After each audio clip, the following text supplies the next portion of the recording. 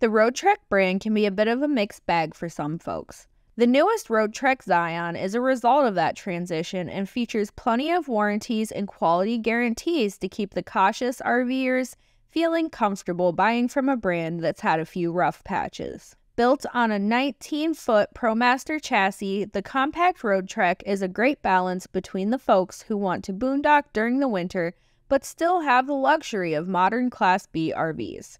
For starters, the rig is fully equipped with a robust solar power system and lithium batteries that will help you stay powered even if you're far from shore power. You'll also stay warm with the 16,000 BTU furnace that comes standard, and while that should be plenty for most people, some folks may need to upgrade their heat or add an additional source. Your furnace, and your air conditioner for that matter, are ready to go whether your engine is running or not.